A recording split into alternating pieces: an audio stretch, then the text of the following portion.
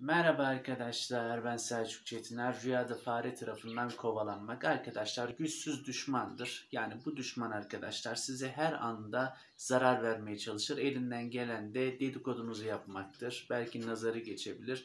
Gücü yoktur ama size ölesiye düşmandır arkadaşlar bu kişi.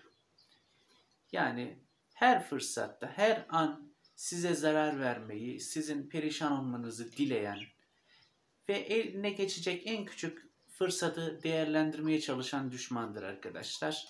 Ya fare zarar veremez.